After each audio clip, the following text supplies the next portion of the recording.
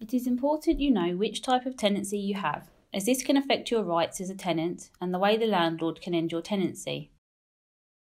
If you are unsure which type of tenancy you have or would like more information, you can ask your landlord or speak to your local Citizens Advice Bureau. The types of tenancy you may have depends on whether you are in private or social housing. The way the landlord can end your tenancy is different for each type of tenancy. If renting from a council, you may be given a secure, introductory, or flexible tenancy. If renting from a housing association, you may be given an assured, starter, or flexible tenancy.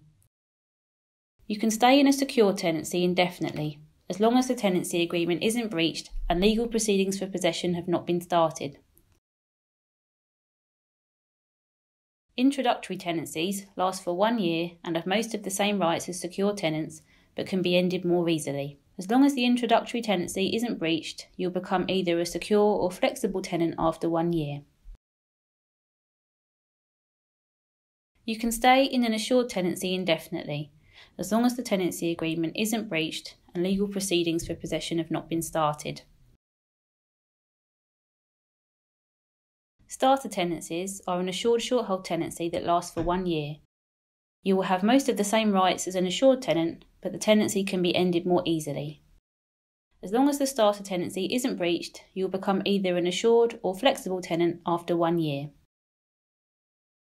A flexible tenancy is a fixed term tenancy that usually lasts between two and five years. They have similar rights to secure and assured tenancies.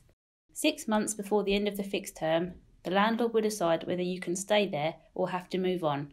Some flexible tenancies may be let on an affordable rent basis where rent is charged up to 80% of the local market rental value.